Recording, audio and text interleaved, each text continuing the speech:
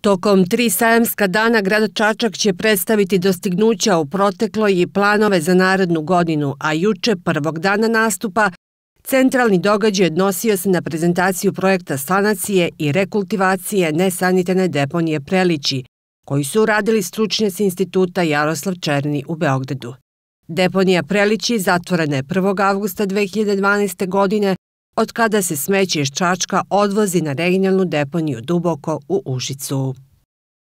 Čačak dakle, ima tu privilegiju da nema deponiju na svojoj lokaciji, ali e, to podrazumeva dalje dakle, obaveze grada Čačka, a to je da smo mi upravo sada, 17. septembra, okončali izradu studije o rekultivaciji deponije Prelići, čime ćemo mi konačno aplicirati dakle, za projekat e, deponije, e, te rekultivacije i na neki način tu deponiju zatvoriti, znači i samim tim pokazati da brinemo dakle, o našim građanima, pogotovo dakle, o građanima koji rade dole i žive na toj lokaciji.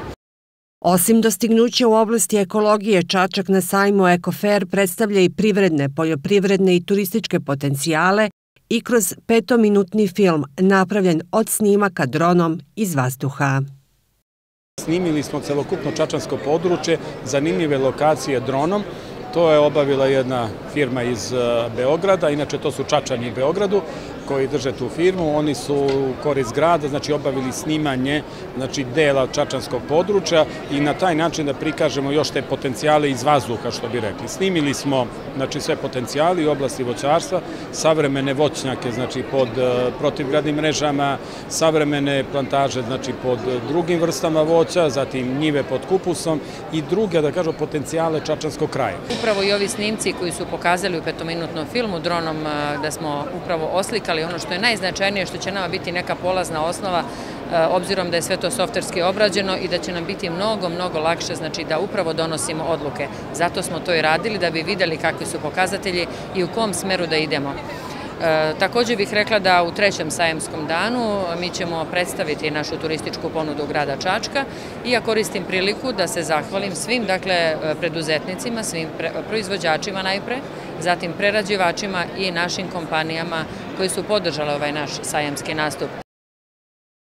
U gradu navode da je Čačak već imao i da se tek očekuje korist od nastupa na ovom sajmu. Nadaju se i nekom od priznanja pošto su jedna od malobrojnih lokalnih samouprava koja nastupa na ekoferu. Najavljena je i nova kapitalna investicija izgradnja gasne kotlarnice kod prosvetine zgrade. Ove godine hteli smo da izađemo iz nekih stereotipa nastupa na ovom sajmu, zato smo i dali jedan slogan Čačak modern grad. Novo gradsko rukovodstvo želi od Čačka i Čačanskog područja da stvara jedno moderno područje, da grad otvori, da ima jednu veću tešnu saradnju, znači i sa drugim gradovima i na svim nivoima. Upravo je to nešto što se meni ovde dopao slogan ovog samog sajma Nova energija. Tako da mi u Čačku kažemo novo rukovodstvo sa novom energijom za jedan moderniji grad, za jedno modernije područje. Do kraja manifestacije posetioci će moći da prisustuju prezentaciji projekta iz oblasti ekologije koji se realizuju u Čačku kao što su projekat Citizen održiva mobilnost za građane Evrope i Japanski vrt. Više predstavljena studija zaštite stabla, ekolist osnovne škole Tansko Rajić, dok će članovi udruženja Bosiljak govoriti na temu talenat i veštine u funkciji zdravog života. Inovativno preduzetništvo u zaštiti životne sredine naziv je prezentacije Naučno-tehnološkog parka u Čačku na ovom sajmu. Na štandu grada izloženi su i poljoprivredni proizvodi po kojima je Čačanski kraj poznat, kao što je sušeno voće, rakije, a predstavlja se i firma Čipsi Vej.